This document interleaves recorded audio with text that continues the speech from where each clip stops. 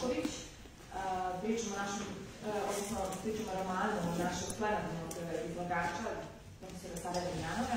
Njena tema je metatekstualna arhitektura i titla Save Damjanova. Dragana, izvoli. Tako će sad da bi pravilo dobro papirića. Aha, pomenut ćeš Dobro, nadam se da neće, ja se uvijek trudim da ostavim, da to bude pozivno čitanje radova ovaj, da neke od osnovnih ideja e, izvedem samo na izlaganju, a da sve ono ostalo detaljno pratite, odnosno da čitamo jedni drugi kad izlazi zbornik, odnosno tematski deo. E, hvala organizatorima, hvala Kulturnom centru Vojvodine Miloš Senjanski, hvala i e, Digitalnom centru što nas je ugostio i meni je veliko zadovoljstvo da opet sarađujem sa ljudima koje često viđem baš u ovakvim prilikama i e, za ovaj skup sam izabrala da pričam dakle, o posljednjem delu Save Damjanova, e, koja je tačno sa 10 godina, možda to sad simbolično nekako izokružuje onaj recepcijski kod, kao da jedna decenija prošla pa se sad sa neke razdaljine može i pričati. tema koju sam izabrala je slično, dakle, kao i određenje Save Damjanova koji se i bavio književnošću i bavio književnošću, pisao književnost i pisao o književnosti, kako je rekla naša koleginica Branislava Vasić, pa e, je tako i istorija književnosti predstavljala neku vrstu inspiracije i izbora ili ovoga sa što smo, o čemu smo govorili, motivacije da se tradicionalno e, nekako ulančamo ove, komentarišući kroz književno umetnička dela neka koja su nam prethodila, koja su nam na neki način možda označila ili ne, ili sa kojima vodimo dijalog. E sad, e, na samom početku, dakle, ja ću pročitati jedan deo vezano za, pre svega, metodologiju mog istraživanja, pošto je naslov e, metatekstovna arhitektura i sad evo se na pauzi vodila polemika koliko u stvari ne postoji neko jedinstveno određenje ili razgraničenje između interteksta i metateksta. I ja bih samo nekratko ovaj, neku vrstu mog istraživanja i različite literature na tu temu, kao što se dešavalo i pre deset godina kada sam to radila vezano i za fantastiku.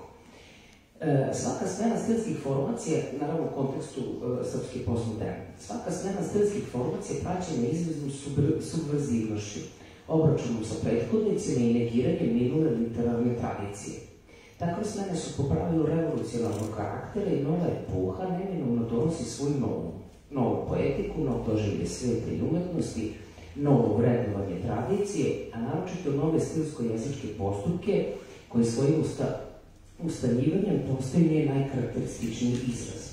Možda je takav jedan prevrat najradikalnije načinila upravo postmoderna književnost koja je svojim poetičkim instrumentarijem narativnih tehnika, poigravanja formom i osobenom filozofijom književnog stvaranja u potpunosti revolucionarizovala književnost, ali i čitanje.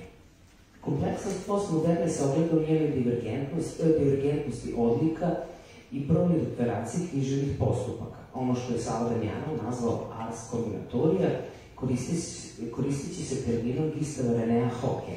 Pa sad citat Save Damjanov. Književnost je za njih, mislim na, postmoderne prozaiste, pre svega i iznad svega ars kombinatorija.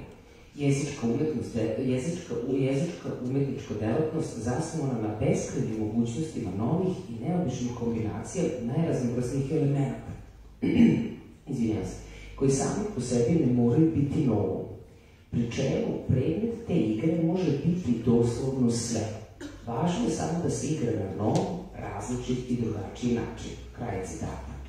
Dakle, u toj igri, u tom traganju za novim i drugačijim izrazima, svi postojići elementi su na raspolaganju. Sve tehnike se mogu upotrebiti ili nobičiti. Evo sad smo spominjali prelazne vrste poput putopisa, recimo. Svi žanrovi su fleksibilni ili se mogu ukrštati i tako dalje. Zbog toga su sve, sve ukupne odlike postmoderne skoro nesagledive. Iako su brojni istoričari i teoretičari književnosti pokušali da ih opišu i popišu, poput polismislenosti, sinkretičnosti, sintetičnosti, vezano za izvor, miti, arhetip, metafizičko, demonsko i.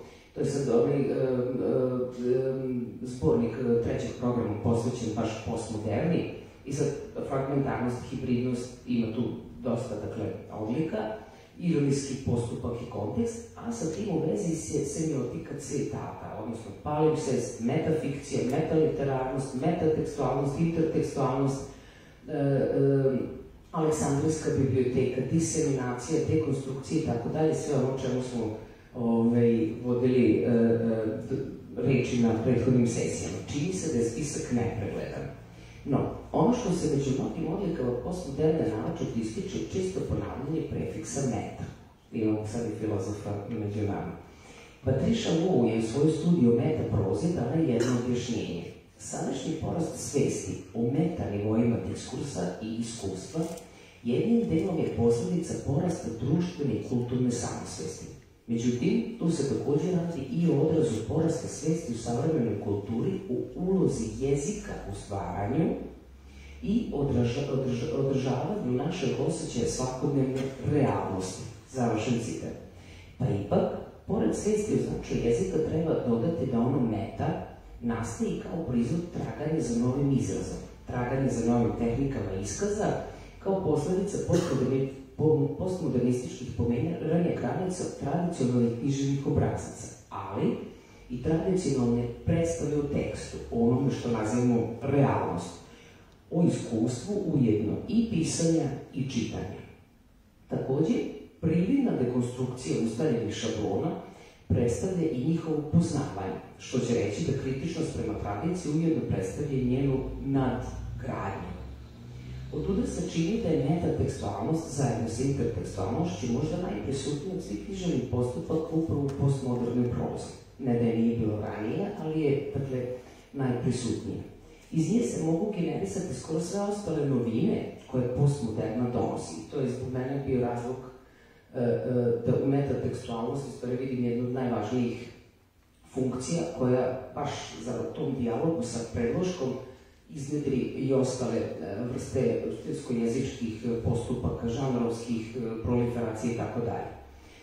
E, mitsko i arhetipsko podrazumevaju poznavanje izvesnog predložka, na primer, motivi stolice i fruje u Pekićevoj zbirci Novi Jerusalim, motiv cveta, na primer, u Kišovoj zbirci Enciklopedije mrtvih.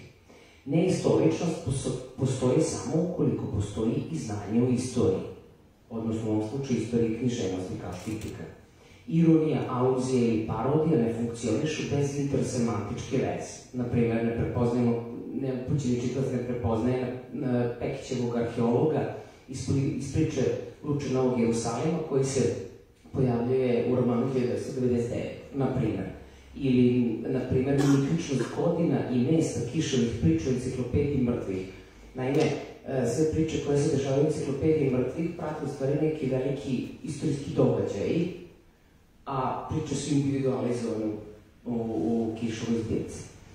E, kritički odnos, recimo, ne manjera ukoliko se ne reflektuje odnos prema onome što se kritikuje. Naprimer, majstor i učenik iz spominjene kišove zbirke. E, fragmentarnost se mora prošiti inter ili metatekstualnim svezama.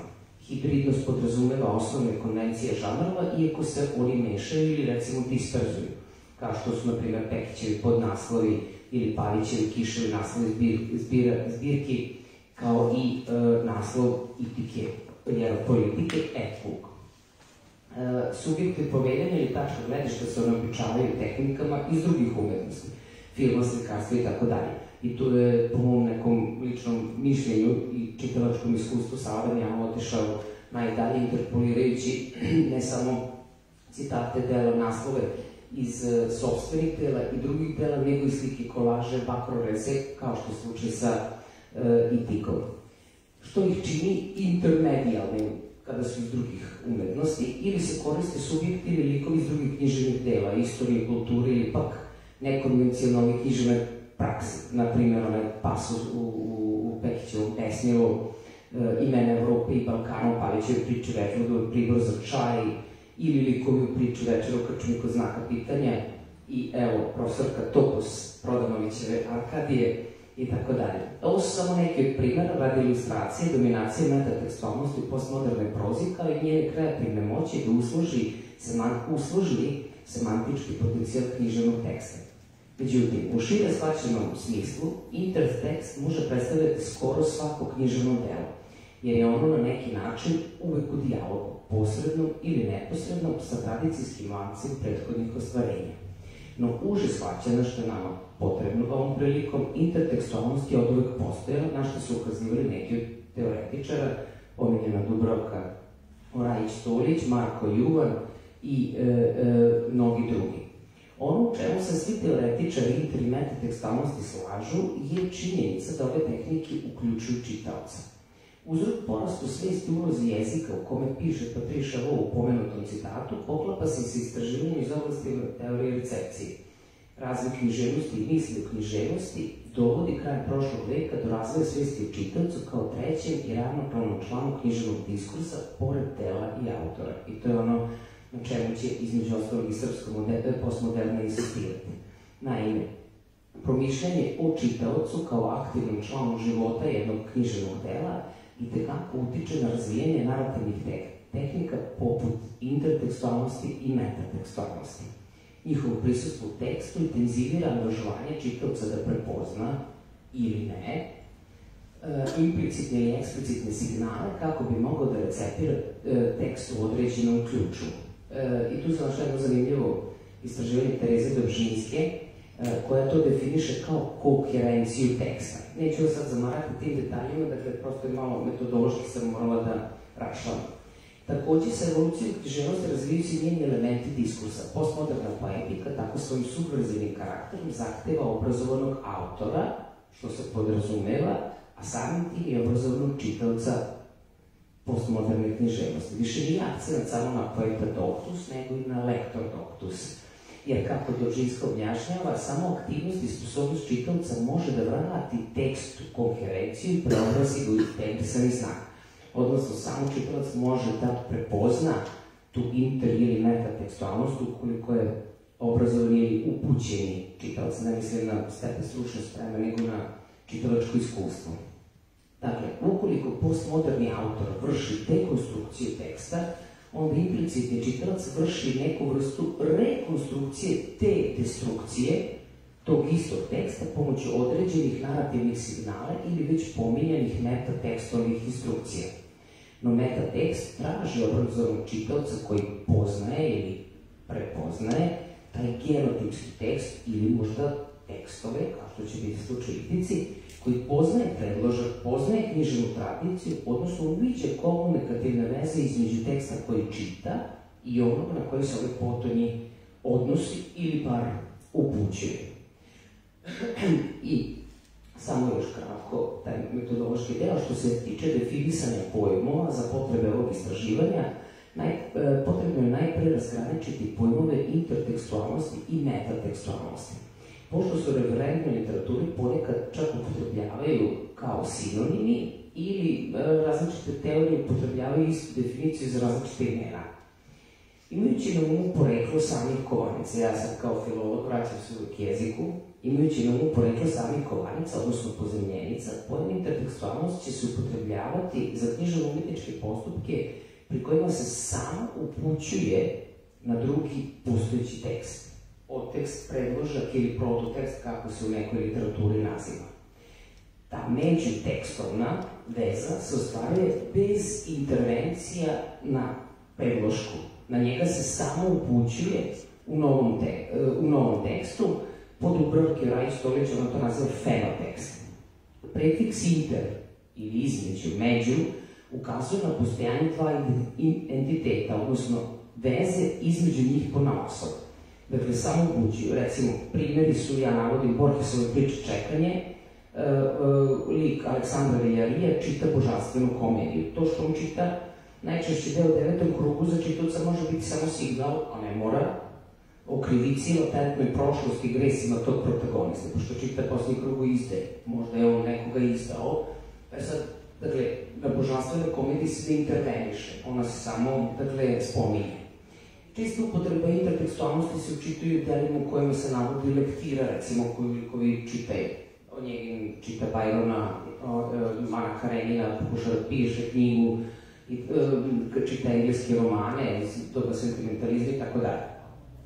ili delovi teksta, sentence, mota i stihovi koji likovi navodi ili citiraju, koji tako predstavljaju možda njihove filozofije ili ih opovrgavaju, služe možda karakterizacije ličnosti ili stavljaju na neku kušnju preispituju. Recimo, kod Dostojevskog taj čest motiv evanđelja, njegove ili koji čitaju ili citiraju evanđelje.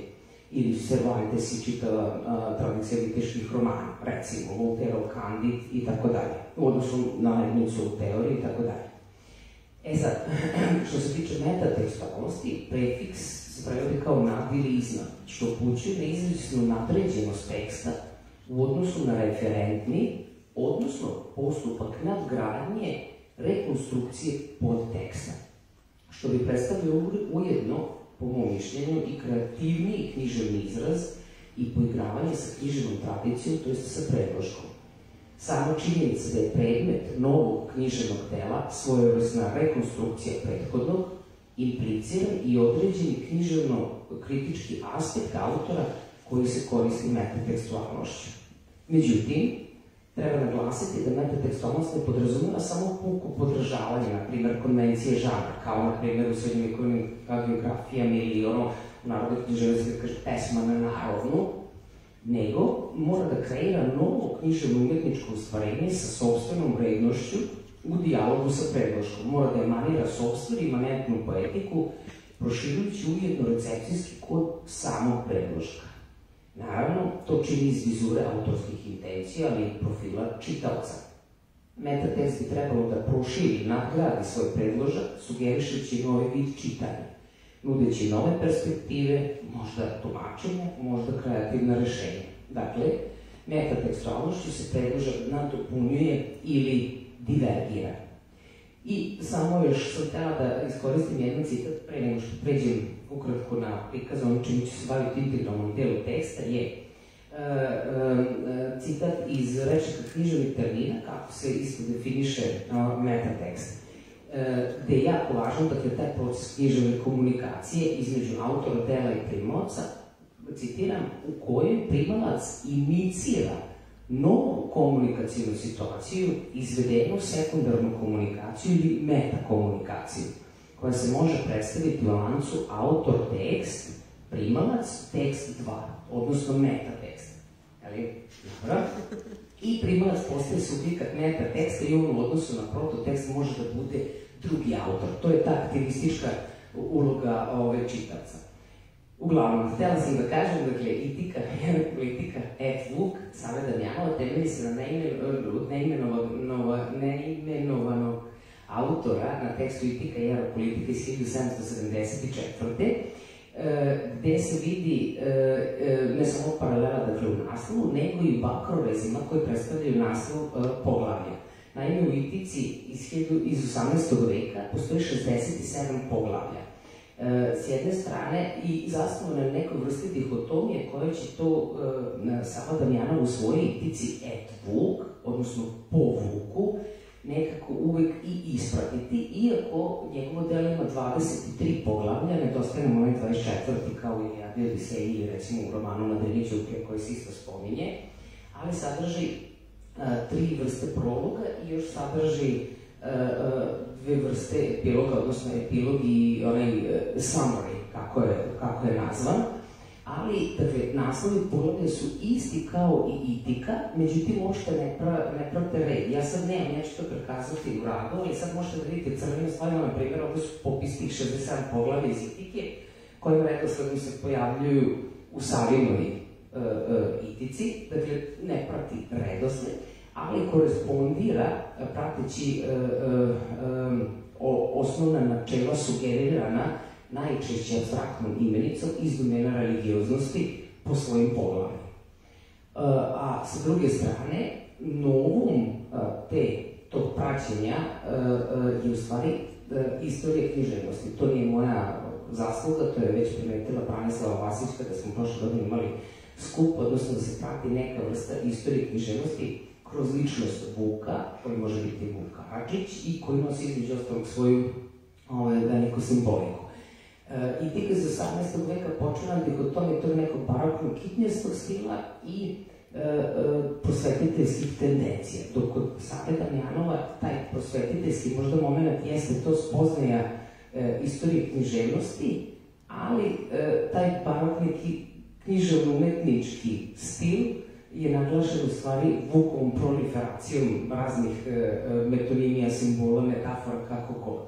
Da bi, za razliku od itike iz 18. veka, neki apsolut, sad malo žuri, neki apsolut bio naravno Bog i duhovnost, dok ovaj, praktilja Vuka u itici Sali Damjanova, sad posle 250 godina, napisano 240 godina tačno razlike, sad 250 godina između njih uh, Destino, odnosno lik žene, koji nije prisutan u prvobitnom predlošku i Destino koja je neka vrsta uh, protiv teže saputnice koja, da tako kažem, osmišljava i zatvara ovaj, uh, Savinu, Savinu itiku. I samo ću za kraj da iznesem jednu novinu, Destino koja svojim imenom uh, sugeriše sudbinsku predodređenost kao što to Bog ovaj, sugeriše svojim apsolutom u itici iz 18. veka, našla sam jedan podatak da postoji sedmominutni film e, objavljen je prvi put 2003. godine, e, a u stvari e, potiče iz 1945. na kojoj su sarađivali Walt Disney, i Salvador Dali. A prikazana je ljubav između Hronosa i Dalije, dakle, tavorila je 58 godina dok se nije objavila i zove se Destino, kao neka sudbinska predodređenost između Boga i, i ove, e, e, žene, obične žene, gde ja mislim da je kod savjeta malo možda promenjeno, taj demonski luk postaje, odnosno taj demonski luk je stoji na strom destino koja predstavlja uzvišenost i po mom nekom tumačenju ove, samog književnosti. Ali, čitat ćemo još u delu. Eto, nadam se, nisam prekoračila. Pokušala sam svašta da kažem za kratko vreme, pošto je zaista obimna, obimna literatura. Hvala Dragani na ovom istetnom objašnjenju i pojmova metatekstualnosti i intertekstualnosti i um, samog uvoda u, prozu Sada Damjanova, dakle će biti lakše čitavacima da uđu u ovo kompleksno delo koje svakako zahtjeva um, obrazovanog čitavca, kao što je rekla i, i Dragana. Hvala vam. Sada jedna mlada koleginica koja se e, također jako interesantnom temom, na, temom našto za mene, ja sam se bavila elektrografijom, novih od načina. Jovana Todorović, tema Leonora postmodernističkog smisnuća motiva Mrtve drage u elektrografiji Jelena Pajića. Izvoli, Jovana. Hvala. Pre svega, zahvala...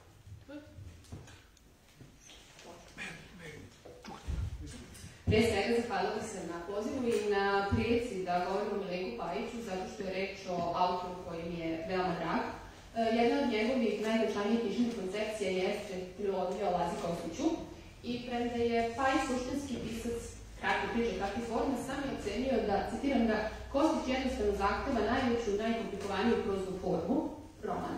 Naravno, roman koji je apsolutno postmodernistički. I ova trilogija objavljena je u okviru dve knjige, Pričina i druga knjiga Pričina iz 95. i Ženka iz Agonija iz 1997. Prva knjiga je Pričina Kostićeva Lenora, a druga Glasovi u grotu noći. Svaka se otvara sa po dva epigrafa, motova, koji kao intertekstualni signali povezuju Pajićevo delo sa delom Laze Kostića i Branka Miljkovića, odnosno anticipiraju oniričnost dela. Kako su erotogarski elementi prisutni samo u prvoj knjizi, Pričine fokus stavlja upravo na nju i jasno je da je Pajićev književni predložak Kostićev dnevnik snova, delo koje se smatra kako jednim od najznačajnijih za književnost srpskog, romantizma, srpsku dnevničku i oniričku književnost, tako i za srpsku evropsku književnost. Šta više sam Pajićev dnevnik snova naziva praspisom i služi se intertekstualnim opisom, pišući u onom primjerku koji se čuva u odeljenju Matice Srpske kao i izdanju koje priletio na. Kako Kostićev dnevnikom počinje rimskim brojem 2, pa, pa i se pita pa šta se onda desilo sa prvim delom. Pritom, ako imamo na umu da je dr. Simonović uticao na to šta će od Kostićevog dnevnika biti sačuvano, šta ne, time bivajući njegov prvi interpretator, sam rukopis ima enorman potencijal za mistifikaciju. Milenko Pajić to u potpunosti iskorišćava, dopisuje nove snove, proširuje ih, izmišlja jedan novi rukopis, odvaja snov od Kostićevih komentara i sl.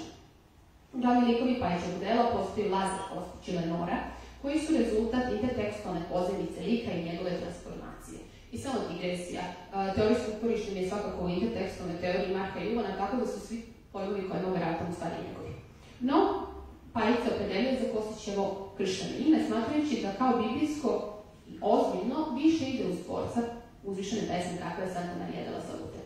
Lik Lenore pak predstavlja Pajićevu analogiju Lenke Duđevske, odnosno nakon smrti. Suštinski Lenora se vraća 1926. godine, godine kada Lenka umire i počinje da pohodi Lazu Kostića s novima. Od Lenke ona se ne razlikuje samo u prenosima iz Kostićevog dnevnika, premda je i u tim citatima navesti. Lenka ima upisano ime Lenora.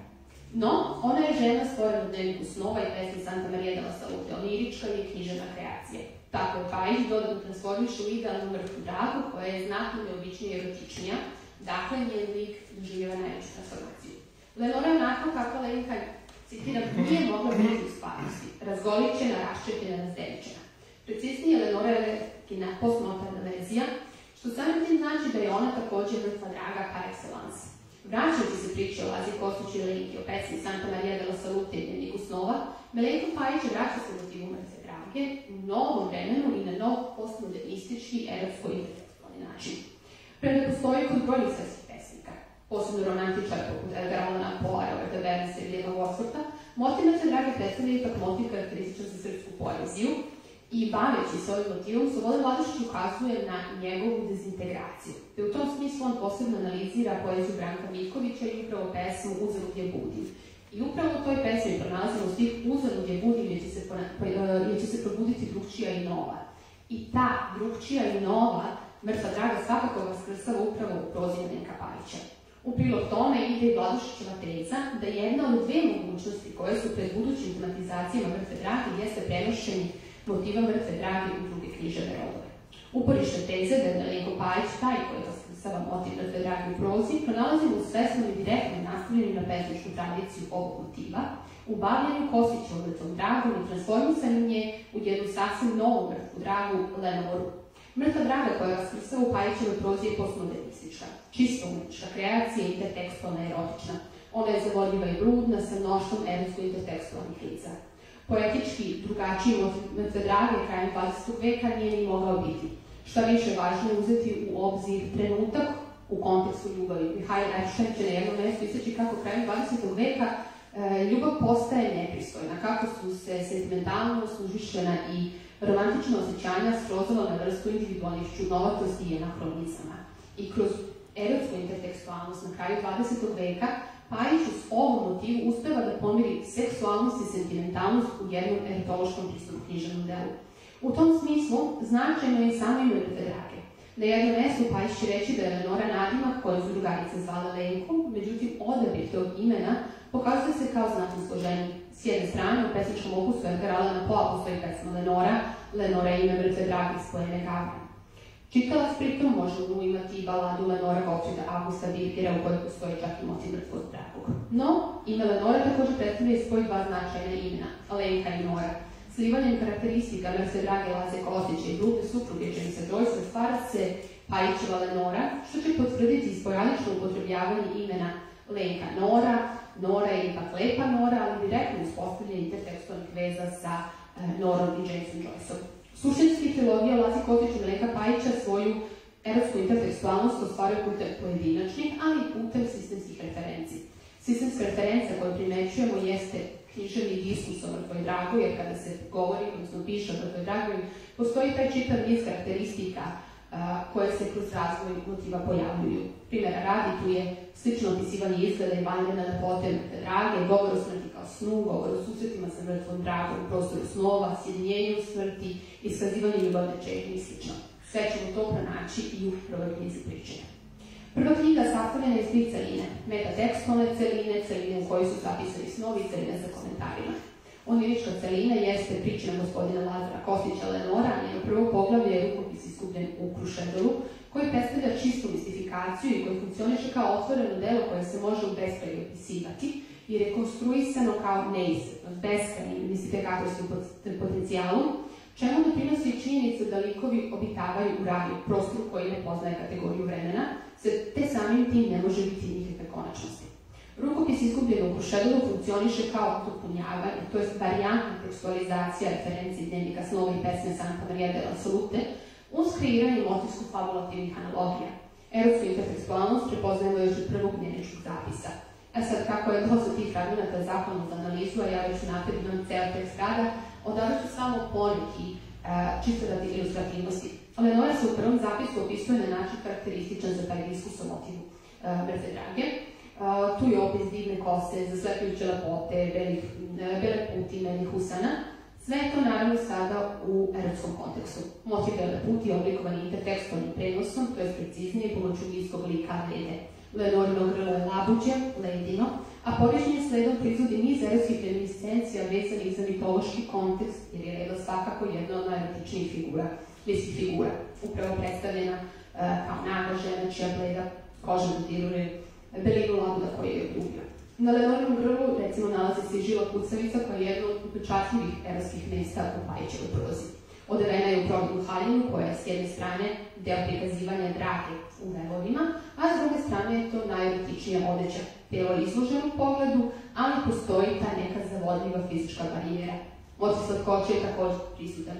Draga se metaforično naziva medom, njena usta su rumeno sača, na Lazarove reči, citiram, otvori usne, progovori, pokreni svoje rumeno sače, pusti neka kaplja iz njega, tvoja kap, tvoje ljubavi prema meni, Lenora odgovara, otvori sam moju voćku, moj krlovinar, otvori ga slobodno do svoje pati. Razgovor ljubavnika stavljen je kontekst erosog diskursa koji se često temelji upravo na tim metaforama, metaforama voća koja se bojom, oblikom, ukusom, e, mirisom dovodi u vezu e, s ženskim ustima i genitalijama. Dok je prvi deo sna moguće tumačiti kroz mitološke i sistemske reference, erosku intertekstualnost, kakvog se najčešće susrećemo u Pajićevom delu, pronalazimo u drugom delu sna u vampirskoj sceni. Lazar, uživajući ljubavnim dodirima sa Lenorom, ne zadovoljava se što samo poljubcima ima potrebu da produbi dodir. Tad počinje da je grize i ujeda. Citiram, moram ljubiti još dublje, ispiti, isisati moram hej, da proklišće zubiće i nakon pauze grafički obeležen nizom tačaka zapisano je da Lenora leži u krvi. Ova scena je prenos iz jednog malobrojnih Kostićevih pripovedaka pripovedke Maharađa.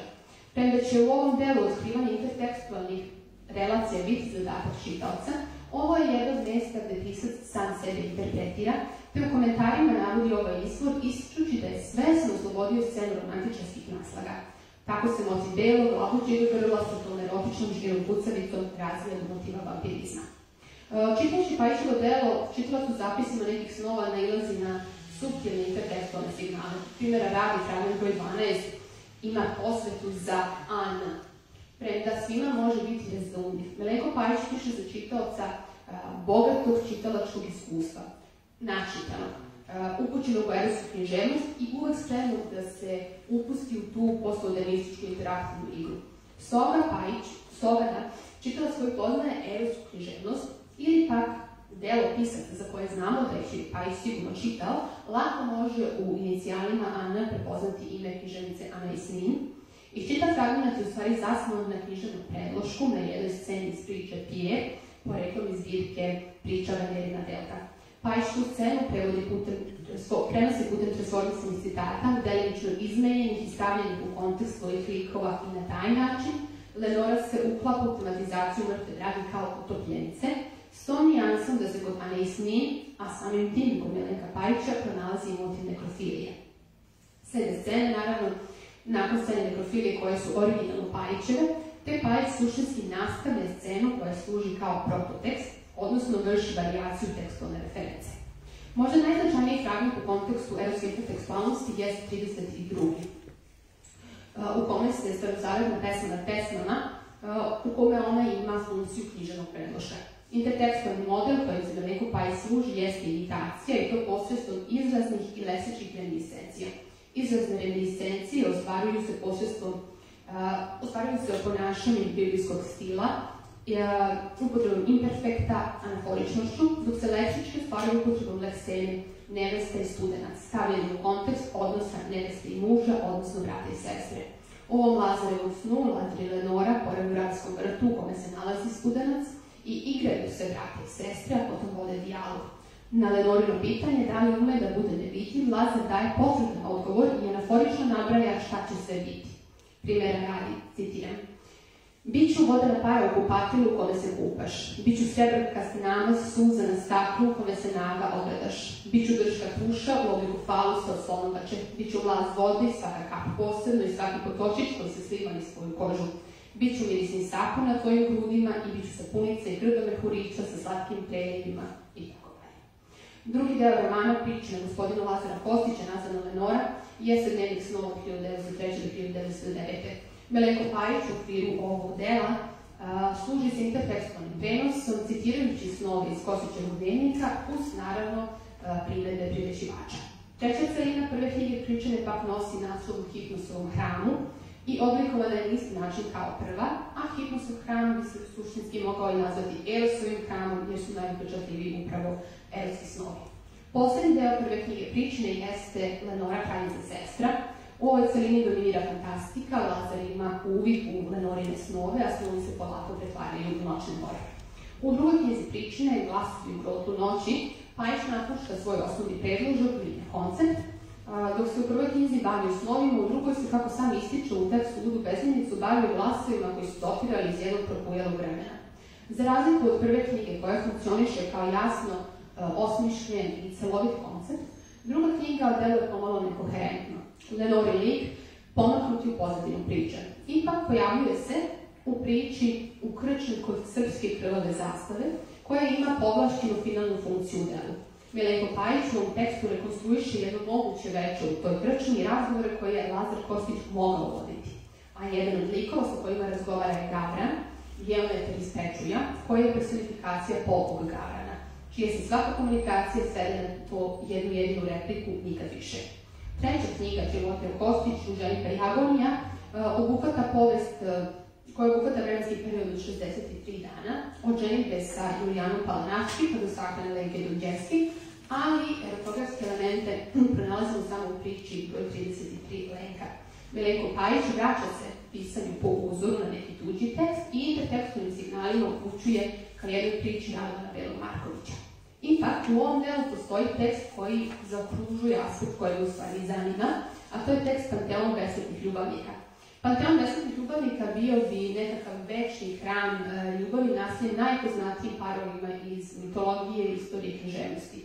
Tu su između ostalih Paris Jelena, Leander i Hera, Antonija i Kleopatra, um, Tristan i Izolda, Dante i Beatrice, Petrarka i Laura. I ovaj spisak od 14 parova večnih ljubavnika navodi Pajića na promišljanju ljubavi i tome kako je moderno doba uticalo na ljubav i da li je uopšte moguće iznediti nove stanovnike tog večnog hrama. U tom smislu on pokušava da da svoj doprinos. Citiram ga. Naš napor i naša misao i sve drugo što na ovom mestu preduzimamo usmereno je k tome uzvišenom činu da se Lenora i Lazar zlatnim slovima upišu u hram ljubavi i da produže u beskraj niz savršenih večitih ljubavnika. Dakle, ako je Lazar Kostić svojim delom doprinao stvaranju para Lenka i Lazar Kostić, Milenko Pajić žele da stvori novi, Lenora i Lazar. A jedini način na koji je to i mogao da uradi bio je upravo postmodernističnim vasposnućem mrtve drage i kreiranjem njenog lika u erotsko-intertekstualnom kontekstu, oslanjajući se na svetsku, ali u stvari vraćajući se uh, domaćoj tradiciji. I u tom smislu i ovaj rad teži toj nekoj uh, revitalizaciji i revalorizaciji uh, dela Milenka Pajića, zato što je on jedan od onih manje istraženih srpskih uh, postmoderista. I ovde privodim kraju, jer sam malo je probilo vreme. Hvala vam puno pažnje.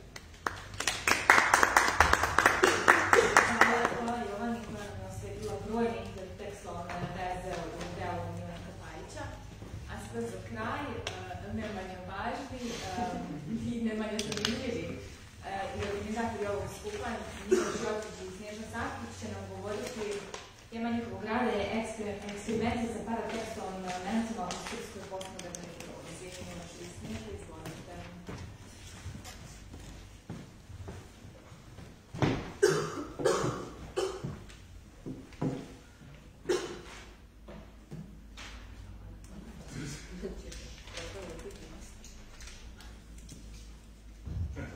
Može.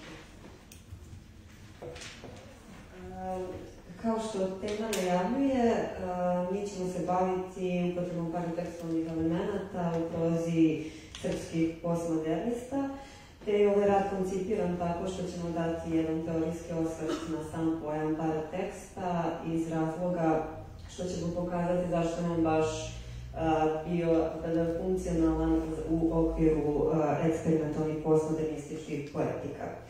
Dakle, prema tvorcu ovog termina, francuskom teoretičaru Gerardu Genetu, koji je u studijama palimpsesti, a zatim i pragovi, paratekstualnost definisao kao jedan od pet osnovnih vida transtekstualnog povezivanja, pored intertekstualnosti, metatekstualnosti, arhitekstualnosti i hipertekstualnosti, Tekst se redko može čitati i tumačiti izvan njegove ukupnosti, te distinkciju između pojmova, tekst i delo, žena posmatra upravo s aspekta važnosti parateksta, kao nečega što omogućava tekstu da postane knjiga i da se kao tako ponudi čitalcima, a šire posmatranoj publici. Dakle, reč je o svim verbalnim ili vizualnim materijalima i elementima koji književno delo okviruju, komentatorski osvetljavaju i na taj način utiču na njegovu recepciju te ih po lokacijskom, odnosno prostornom karakteru, žena razvrstava u Dakle, peritekst, onaj koji se nalazi u samoj knjizi, dakle, predgovori, pogovori, beleške, fusnote, podnaslovi, naslovi, i epitekst, ti takozvani distancirani elementi, dakle, sve ono što je van knjige, a može pomoći da se knjiga funkcionalnije, adekvatnije tumači, recimo intervju i dnevnici, pismo vezani za delo. On ovakvu ulogu paratekstualnih elemenata argumentuje postavljajući pitanje kako bi se mogao i čitati Joyce of kada ne bi bio naslovljen upravo onako kako jeste.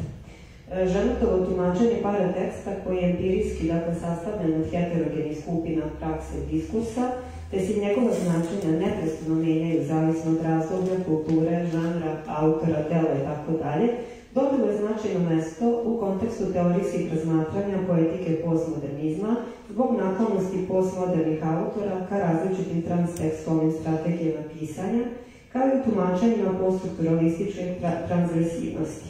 U okviru srpske književnosti se, dakle, i kao najreprezentativniji primjer navodi hazarske reči Milorada Pavića, dakle, u kojem skladu sa načelima, načelima nelinearne literature, i pojačane semantizacije forme, različiti vidovi parateksta, ilustracije, naslov, podnaslov, posvete, predgovor, napomere, apendiksi postaju bitni činioci receptivnog prostora. S tom konačnom tezom da je kulturna uloga transtekstualnosti u tome da stara dela uvek iznova postavlja u novi smisleni tok, u priličnoj meri je izbrisao konflikte, subverzivne i druge antitradicijske aspekte intertekstualnosti. Između ostalog, njegov doprinos nauci i književnosti dao je utemeljivši taj neologizam u širem naučnom polju koji danas podrazumeva tekst ne samo verbalnog književnog karaktera, već šireg semiotičkog shvatanja teksta znaka, stoga se teorijom parateksta i njegovim pojmovima e, koriste i teoretičari kulture, digitalnih medija, filmolozi, istoričari umetnosti, kulturolozi i tako dalje. E, kako e, ženac navodi, paratekst e, zapravo podrazumeva granicu i rup, odnosno prag teksta ili nedefinisanu zonu između onoga unutra i onoga izvan, bez jasne granice između teksta i konteksta, pripadajućeg diskursa svijeta toga teksta.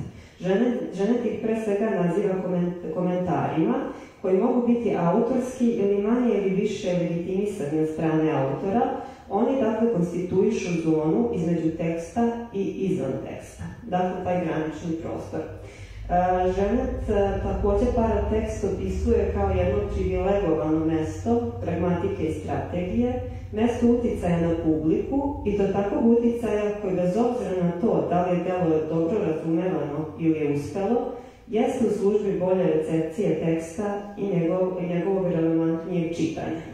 I on na samom kraju e, druge spomenute studije se osvrće na takozvano dugo vladanje teksta, e, koji je konačno destabilizovan te, modernu pomalu za paratekstom, zbog koje pak ne treba zaboraviti da je paratekst samo pomagač, samo dodatak tekstu. E, time, recimo Ivana Ljubašić u tekstu posvećenom upravo paratekstu u kontekstu savremenih narativnih strategija, ukazuje da se žena pridružuje savremenim naratolozima, smešajući tekst jasno na razmeđu između teksta i konteksta, odnosno na diskursivnu razinu s konstantom naglašavanja metapozicije i metafunkcionisanja tih pojavnosti. Dakle, ovo spomenuto pojmanje paratekstualnosti značajnu ulogu dobija, kao što je već napomenuto, i u postmodernističkim hibridnim poetikama, budući da ovi autori stvaraju žanrovski hibridne projekte koji su brisali granice između ne samo različitih prožnih žanrova, već između fikcije, nefikcije, lirike, pa i književnih oblika. Postmoderni eksperimentalni postupci neretko su zahvatali dakle i paratekstualne elemente i ženetovski posmatram fluidan graničan položaj ovih elemenata nesumnjivo je glavni razlog zašto su eksperimenti sa paratekstom bili primamljivi postmodernim autorima. Ovi autori su dakle otvoreni prema različitim transgresivnim i transtekstualnim strategijama, stoga i paratekstualni elementi u njihovim delima postaju još jedan prostor za mistifikaciju, dekonstrukciju, parodiju, decentralizaciju i slične postupke. Dakle, u našem radu ćemo pružiti pregled takvih paratekstualnih eksperimenata i ovom prilikom ćemo se zadržati samo na nekim od najupečatljivijih pojava, o tome će nam nešto više reći kolega Miloševac. Hvala. Recimo na samom početku, apsolutno najrasprostranjenija paratekstualna dovijanja u srpskoj postmodernoj prozi se odvijaju u podnaslovima dela. Pod podnaslovima, u ovom slučaju mislimo na ono što je Ženeto pisao kao dodatke naslovima, koji služe za žanrovsko određenje dela. Uzoru na dela klasične književnosti, tako kaže Ženet, koja su bila određivana nekim od velikih žanrova kao što su tragedija, komedija, spenata kad se nađe u podnaslovu i tome slično. Ala Tatarenko je već uočila ovu rasprostranjenost paratekstovih eksperimenata među tim postmodernim naslovima, i na taj fenomen je obratila pažnju u svojoj poetici forme srpske, uh, u, u, u svojoj studiji poetika forme u prozi srpskog postmodernizma. Tradicionalna uloga takvih podnaslova je dakle komunikativna. Oni su tu da signaliziraju kojim je žanrom ili oblikom to delo napisano. I neki postmodernistički paratekstovi su stvarno istiniti, jako su možda naštovito formulisani. Kazarski rečnik, kao što smo čuli već nekoliko puta, zaista jeste roman leksikon, što je novi žanr koji je formulisan Milorad Pavić. Grobnica za Borisa Davidovića zaista jeste sedam priča jedne zajedničke povesti, budući da je u pitanju postmodernistički fiksa roman koji se može čitati i kao roman i kao zbirka priča. Brojni su međutim oni podnaslovi u srpskoj postmodernoj prozi koji očigledno upućuju na neki sasvim drugi književni žanr, uloga dakle više nije komunikativna, već ekspresivna. Takvi podnaslovi postaju deo umetničkog postupka, jer njihovo značenje više nije informativno, već je simboličko, metaforičko, parodijsko ili ironično. U krajnjem slučaju to je dakle, novo, dvoznačno, ambivalentno značenje namenjeno produbljivanju značajskih slojeva dela. I poznati su u tom smislu podnaslovi jednog od začetnika srpske poslovne književnosti, Borislav Pekića, u delima koje se nekako mogu tumačiti dakle, kao postmodern. Gotska hronika je opis njegovog Novog Jerusalima. Sofija je opis njegovog kako pokojiti vampira. Međutim, eksperimentalne igre sa podnaslovima dobacivali su još dalje, pa je naročito popularno bilo određivanje književnih dela kao neknjiževni žanrova. Mileta Pradanović je, na primjer, romanu Eliša u zemlji svijeti Šarana dao pod naslov postkolonijalna opereta. Rekapitulacija Svetislav Pasare je definisana kao dnevni film. Roman Mi izbrisani Slobodna Vladušića nosi naslov video igra, a najfascinantnija grupa ovih postupaka pripada, da je sumnje, mišljenju, onim podnaslovima koji ne predstavljaju više nikakve više ni književne, ni umetničke žanrove, već prosto pojmove, koncepte, pa čak i izmišljene oblike. Najnoviji roman Svetislav Basere, uh, Minority Report, nosi naslov podcast. Njegov kontra endorfin je biohazard. Pomenuti Milata Prodanović je svojim delima davao sledeće naslove. Za Agnec Bittersweet, za nebesku operu, distorzije i iskliznuća a različite podnaslove kraćih proznih dela Save Damjanova, kao što su fotodigresija ili kislo slana torta, možemo da počnemo da navodimo ovom prilikom, jer ih ima nekoliko desetina, ali će biti spomenuti u radu. Naravna grupa paratekstovnih intervencija koje bismo spomenuli jesu predgovori. I opet, uobičajeno ovoga predgovora, bilo da ih piše autor, ili neko drugi, jeste pružanje dodatnih informacija u vezi sa izdanjem. U postmodernom eksperimentu se još jednom ovakva komunikativna priroda paratekstualnog elementa transformiše u umetnički postupak. Klasični oblik predgovora, kao neke vrste uredničke razjasnice, koristi se kao odslučna daska za različite postupke mistifikacije. Mistifikacija autorstva i postanka ili prirodu teksta pohvalne su naravno postupci u postmodernizmu, budući da se postmodernistička poetika dobrim delom temelji na konceptu koji možemo nazvati hipercitatnost, odnosno ideji da je čitava književnost mreža međusobno povezanih referencija, aluzija i citata. Dakle, sama ideja autorstva i originalnosti je u postmodernoj prozi Lelujel koncept otvoren za različita umetnička domišljavanja.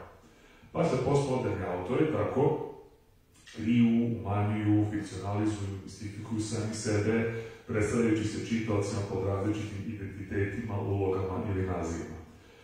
Na primjer, najznačajnija dela srpske historiografske metafikcije, Kazarski rečnik i fama o biciklostima, otvaraju se fikcionalizovanim predgovorima u kojima se autori, znači Palić i Basara, e, predstavljaju kao skromni urednici priređivači, a ne istinski autori dela. Na drugoj strani, predgovori Saveta Mjanova u pričama i remekelcima predstavljaju neku vrstu parodije uh, uredničke razresnice dela. Pisani su u obliku absurdističke autopoetike, i oni zapravo ne nude nikakve jasne i komunikativno sročene uvide u poetiku autora. Pisani su snovito, farsično, vulgarno, nepovezano, asocijativno, čime zapravo u postironičnom obratu, karakteristično za delo Sara Demjanova, svedoče zapravo o istinskoj poetici ovih dela koje se ne može, uh, uh, uh, to je koja bi bila mnogo umanjena kad bi se račemo ovim jezikom knjižene teorije objasnila. Fusnote, odnosno komentari, takođe su paratekstovni elementi sa kojima su eksperimentisali srpski postmoderni autori. I opet, u klasičnom značenju, fusnote i komentari imaju ulogu razjasnica i dodatnih pojašnjenja, opet od strane urednika, preređivača, prevodilaca i tome slično. U postmodernim delima razjasnice opet postaju deo proznog postupka. Njihova uloga marginalija, po znacima navoda, i sporednih tekstova, koristila je postmodrim autorima za decentralizaciju i podrivanje glavnog teksta, odnosno za proširivanje njegovih opet nivoa značenja. U romanu Mrtvo mišljenje, na primjer Vojislava Despotova, desetine fusnota, odnosno tih marginalija, čine integralni deo proznog teksta. Njihovo asocijativno nizanje na marginama ima ključnu ulogu u formiranju e, Despotovljevih distopijskih tehnopoetskih igara, e, e, tema u tom romanu.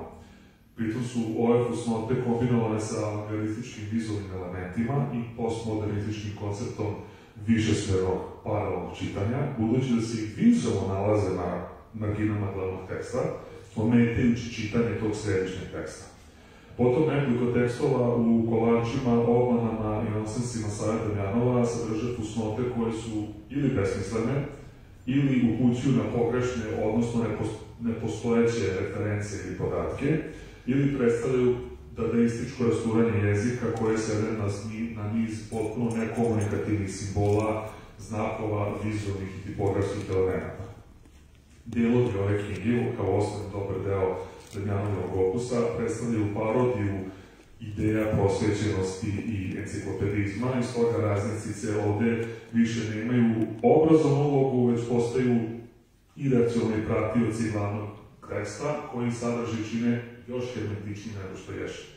jeste. Uh, inače, na samom kraju, pošto kažem, nećemo sad o, o, o, ovde preći svaki paratekstalni element, ali vredi spomenuti da među srpskim postmodernim autorima najviše paratekstalnih intervenciji ima upravo ovde prisutni Sava Damjanov i što je zanimljivo nije samo reč o količini njegovih paratekstovnih eksperimentalnih postupaka, nego je Damjanov u svojim delima intervenisao i na onim paratekstovnim elementima koje Ženet u svojoj studiji nije ni spominjao. Tu, tu, pre, tu kao primjer možemo navesti nekoliko takvih postupaka prisutnih u porno liturgiji, arhijepiskopa Save, na primjer, naslovnicu, dakle da je autor fotošopirao sebe u liko objavnih sveštenih lica, mistifikovanu biografiju autora i na kraju, dakle, još jedna stvar koja Ženetu na pamet nije pala, a to je mistifikovanje onih blurbova, to jest onih reklamnih citata na kraju knjige, gde za uh, Damjanovu knjigu preporuke daju Albert Einstein, Vojislav Koštunica, Tito i tako dalje. Uh, u zaključku ovog izlaganja ponovit ćemo ono što smo nekoliko puta čuli danas, a to je da su srpska postmoderna proza i formalne inovacije prosto neodvojivi pojmovi. Ipak i dalje nema toliko studija posvećenih ovoj temi, postoji naravno kapitalna politika forme Aleta Tarenko, ali srpska postmoderna proza svojom produkcijom i kreativnim dometima svakako zaslužuje više pažnje.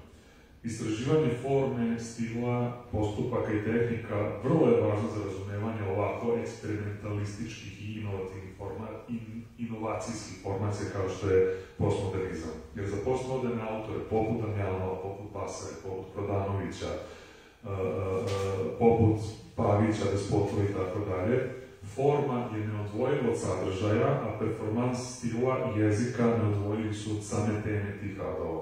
Izučavajući takozvane formalne manirizme ovih autora, dolazimo i do dubih i tematskih, društvenih, kulturnih, istorijskih, filozofskih uvoda čak u njihovu poetiku, kao i poetiku čitave knjižene epohe. I kao su, na samom kraju, kao što reče Umberto Eco, svaki razgovor o delu treba bi da počne pričamo o tome kako je delo napisano. Hvala Milošu i Sneži, koji su nam evo, još neke eksperimentalne postupke naših postmodernista i paratekstualne veze. Sada, da li ima nekih pitanja e, iz publike? Da li još neko nešto želi da prokomentariše? Ja sam samo htela, Jovan, isto da skrenem možda ovaj, Nora Ibsenova, kao moguća Nora, možda nije samo